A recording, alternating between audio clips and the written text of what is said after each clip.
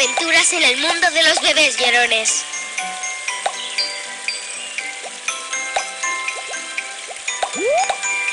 ¿Cuáles son tus bebés llorones favoritos? ¡Márcalos!